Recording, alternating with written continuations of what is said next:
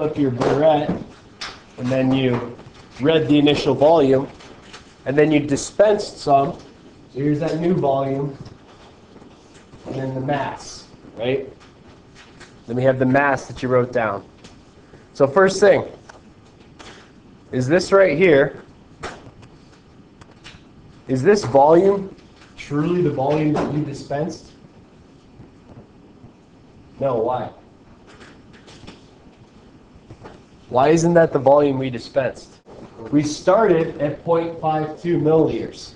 We didn't start at zero.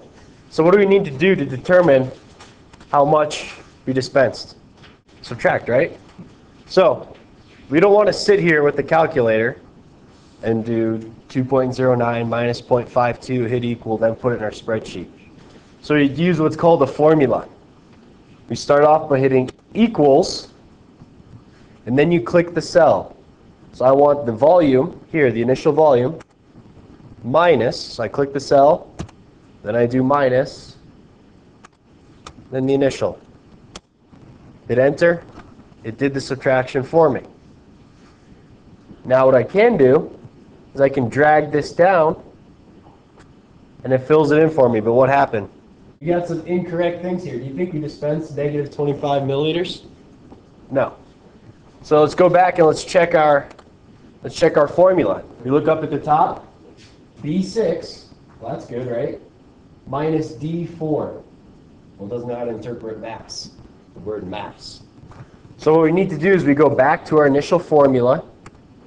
So right here, and we always, our initial volume is always 0.52, right? That's always. So what we're going to do is use some dollar signs. So we go dollar sign, dollar sign. So it looks like our B5 minus, we surround the letter in dollar signs. So D3 with dollar signs around the letter. Hit enter. Well, good, that's the same volume, but when I drag down,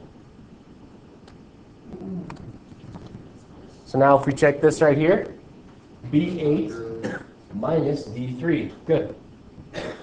I just did 10 calculations in 5 seconds. Now the water mass. Is this really the mass of just 1.57 milliliters of water? Does 1.57 milliliters weigh 31.59 grams? No. No, right? What do we need to subtract? mass. Like, which is what? Which is what? Good. Mass of the beaker. So we go equals mass minus our beaker, but what do we need to do? Dollar sign. And then we drag down, and there's our mass. Does it for me. So when you do that drag down, so if I click on a box right here, you got to take your cursor and go to the bottom right corner. There's a little square part. You got to go to the bottom right corner. Now densities, grams per milliliter. So what I want to, what do I want to do here? So I do grams divided by milliliters. So it equals E5, this water mass, divided by C5. Now, do, do we need to have dollar signs for this one? No, because we always want these two divided by each other. These two, these two, these two, these two. So I hit enter. That's our density. Now I drag down. There you go. Did all the math for you. But how many decimal spots did we read our volume to? Two. Two. What about mass? Two. Now some of these, do we have two here? No, right? There's no decimal spots here, but we need to put decimal spots. Because what Excel does, if you put 16.00 in Excel, it automatically changes it to just 60. Right? Because they're the same number. But we want to show those decimal spots. So we're going to highlight that data, right click it, say Format Cells, Format Cell, and we go to Number, and then two decimal spots, hit OK. Now we have two decimal spots throughout. So these first, These first four calculations, how many sig figs are there though? How many? Now here, these remaining five, how many are we going to have? Four. So we need to right click, format cells, number, we change it to three decimal spots. Now it also asks you on this data here for an average. Now, we don't, you don't need to go into calculator, add these up, and divide by the total. You just hit equals, type the word average, and then a parentheses, and then you can drag your data. So what I just did is I clicked on the top here, drug it down, released, hit enter, that's my average. So now we need to graph this, right? Yes. We need to graph this. So I'm going to go to insert. We always want to scatter. And right here, scatter. No lines. There's no lines connecting our dots. So I click that. And I get a blank chart. So I can right click, do select data. So I can actually see the data. So right click, select data. I go to here, add. I want to add some entries into that chart because we don't have anything yet. I'm just going to leave the name blank. Now X. When you do slope, what is it? Rise over run. So what's our Y? What's going to be our Y? It going to be grams or water mass? Grams or milliliters? Grams. Y, grams. Then our X is going to be milliliters. Hit OK. Hit OK again. Look at that chart. Nice straight line. Now we don't, another thing it asks for slope, right? It asks for slope. So what we do is we're going to click a point. So we click one point, then we right click it, and we say add trend line. We want a linear trend line because we want to get a straight line fit between those points. And we click here, display equation on chart. I hit close, and there you go. There's our equation for that line through those points. And all these need to go into one document. Okay?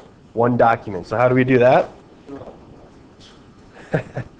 so I'm going to go go here and open up Microsoft Word.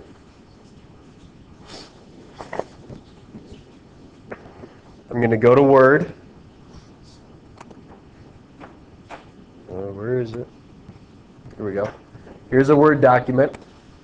And what I can do is I just take my graph from Excel, hit Control C, go to Word, and hit Control V. And there's my graph in Word now. You can do the same thing with your charts. Well, your data table, I should say, sorry. Your data table. I can take my data table, highlight it, Control C,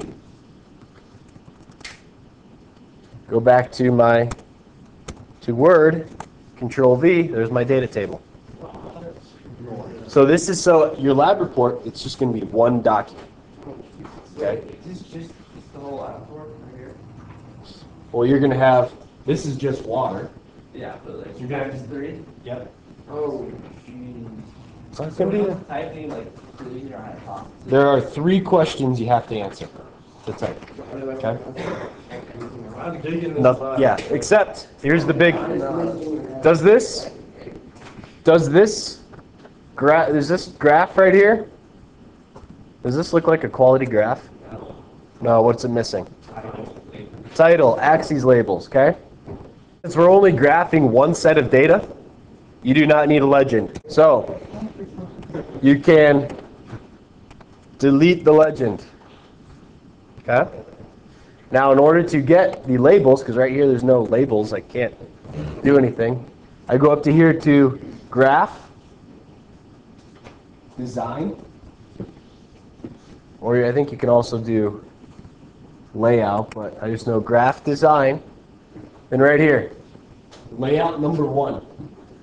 This will give you a chart title, axis title, axis title, and you will have to delete this again.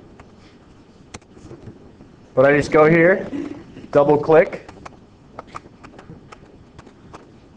There we go. So we have milliliters, grams, right? Mass versus volume. Okay. Now that is a good chart you can put in. That did go away, didn't it? Then you just have to go back and do it again. There you go. So, that is what you're going to do that three times.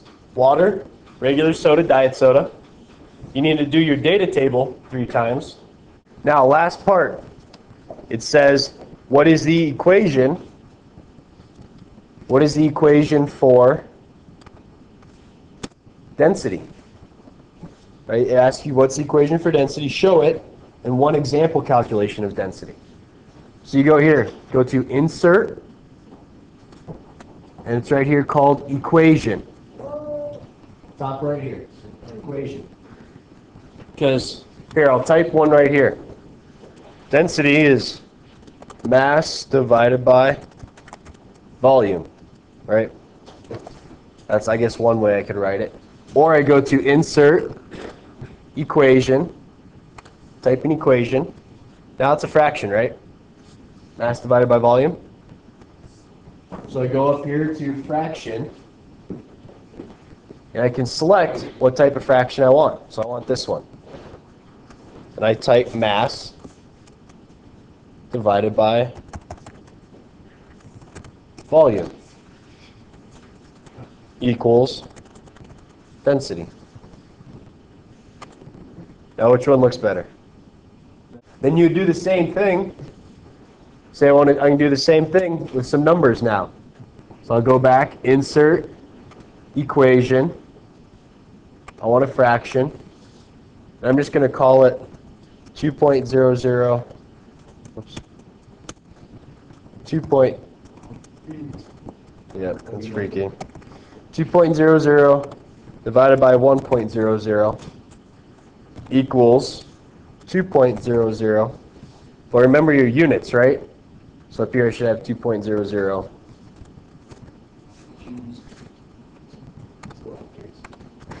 G, yeah. And milliliters. So my units would be what? grams per milliliter. But I don't want to do this fraction, so let's try let's do this fraction. Right? 2.00 grams per milliliter.